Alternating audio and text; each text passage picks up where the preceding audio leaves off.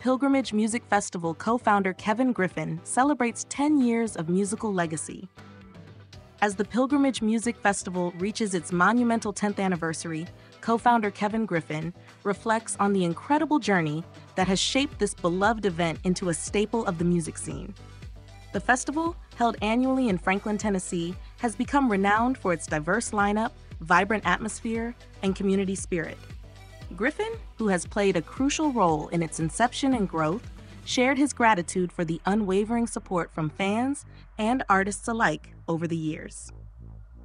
In an exclusive interview, Griffin expressed his excitement about this year's lineup, which features a blend of both established artists and rising stars.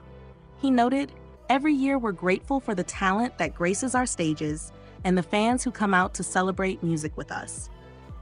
The festival has not only provided a platform for musicians, but has also fostered a sense of togetherness among attendees, creating lasting memories and friendships.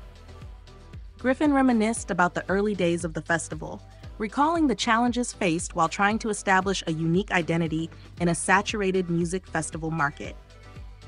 His vision was clear to create an event that combined the love for music with a deep appreciation for the local community and its culture.